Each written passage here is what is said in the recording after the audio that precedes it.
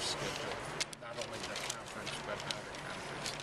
From the players' standpoint, you like that kind of I think we all really like it. I think they're a little concerned about our rest and if we're going to be getting enough time. But I mean, we're all young guys, so we should be all right. If we don't play too many minutes, we'll be we'll be good.